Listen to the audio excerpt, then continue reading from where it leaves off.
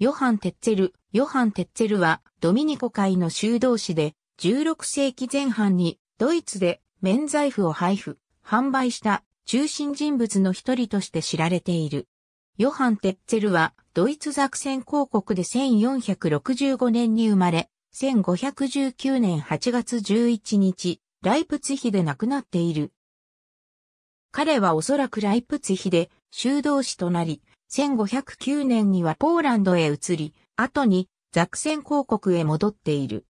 彼を歴史に登場させたのは、マインツでブランデンブルクのアルバート枢機卿のために、免罪符配布、販売の中心人物の一人となり、後にマルティン・ルターのプロテスタント宗教改革の契機の一つとなったと言われている。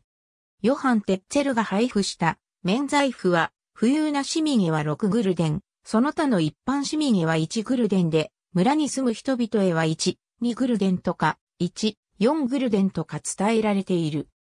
彼の売り工場が色々と引用されて有名になっているが、それは韻を踏んだ追句のドイツ語でであったとか、これを英語ではとか、日本語ではなどとなるが、彼はうやうやしくラテン語で言ったのか、韻を踏んだ追句だったのか、果たしてこうしたことを実際に言ったかはわかっていない。ありがとうございます。